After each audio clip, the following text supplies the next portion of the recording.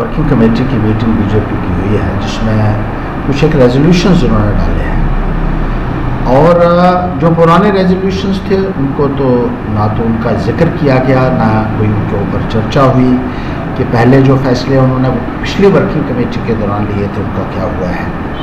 और नए रेजोल्यूशन जो है, वो ले लिए गए। पुराना जो वर्किंग कमेटी की मीटिंग हुई थी 2018 में और जब भी उसके बाद वर्किंग कमेटी की मीटिंग होती है तो पुराने जो रेजोल्यूशंस हैं, उनके ऊपर चर्चा की जाती है कि उनके ऊपर कहाँ तक अमल दरामद हुई है। लेकिन ऐसा कुछ नहीं हुआ। और पुराने रेजोल्यूशंस को ऐसा लगता है कि उन्होंने डस्टबिन में डाल दिया। और नए रेजोल्यूशन जो है, वो डाल दिए। एक बार फिर से लोगों को गुमराह करने की कोशिश की। जो पुराने रेजोल्यूशन थे, ऐसा लगता है कि बीजेपी की यादाश्त कमज़ोर हो गई और उनको पूरे तरीके से बुला दिया।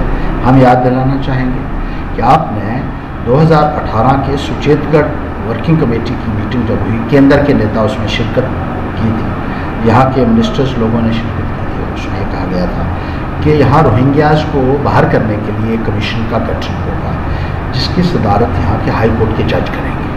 ऐसा कुछ नहीं हुआ। दूसरा फैसला लिया गया था माइनॉरिटी कमीशन यहाँ गठन किया जाएगा। यहाँ के लोगों को इंसाफ मिलेगा। तीसरा था कि जो कश्मीरी पंडित हैं, उनको ऑनरेबली कश्मीर में रिहेबिलिटेट कर दिया जाए। चौथा फैसला था कि अमरनाथ जी लैंड रो के दौरान जो केसेस रजिस्टर किए गए थे, उनको विड्रॉ किया जाए।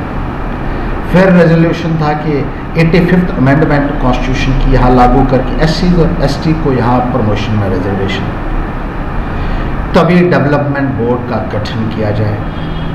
इसी तरीके से और बहुत सारे रेजोल्यूशन जो बॉर्डर एरिया के लोग हैं, चाहे उनको लैंड अलॉटमेंट का था, या उनकी लैंड्स जो फेंसिंग में आई हुई हैं, उनके लिए कंपनसेशन देने की बात की। रिंग रोड के लिए कंपनसेशन बढ़ाने का रेजोल्यूशन उन तमाम रेजोल्यूशंस को नज़रअंदाज करते हुए नए रेजोल्यूशंस कल की मीटिंग में जो है वो डाले। लोगों को एक बार फिर से मिसलीड करने की।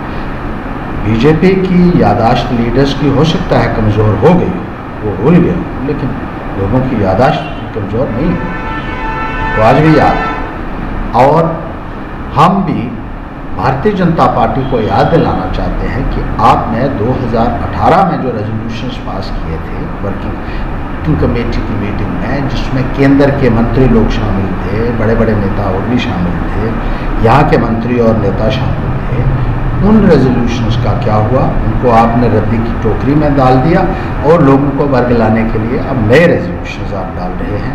लोग आपका असली चेहरा जो है वो जान चुके हैं, समझ चुके हैं और आने वाले वक्त में आपको इसका सिला मिलेगा।